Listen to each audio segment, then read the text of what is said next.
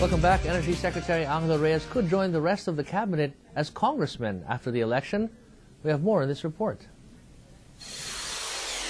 Despite Energy Secretary Angelo Reyes being criticized by militant transport groups for increases in fuel prices in recent months, he may end up representing the transport sector in the next Congress. Two officials of party list group One Utak have confirmed with ABS-CBN that Reyes was selected as their first nominee in a balloting held a few weeks ago. Current One Utak representative Vigor Mendoza ranked second. But Mendoza insists while Reyes is on the short list, the party has not yet made a decision on who will be their top choice. Mendoza says Reyes is very much qualified to represent the interest of the transport sector in Congress. He helped us address the issue of kotong and colorum.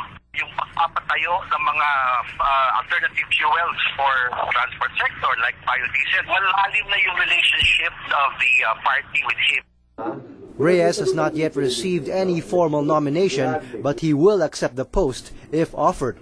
Palagay ko sa tingin nila makakatulong ako sa kanila at yung pinaglalaban nila eh mai isusulong ko. Wala pa nga ako ron, eh marami na bumabatikos. Naintindihan ko na yan dahil political season ngayon. Rival transport group Piston, which does not belong to One Utak, has questioned Reyes' inclusion as nominee of an organization which will represent public utility drivers in Congress. Piston offers a theory why Mendoza will readily yield to Reyes as One Utak's top nominee.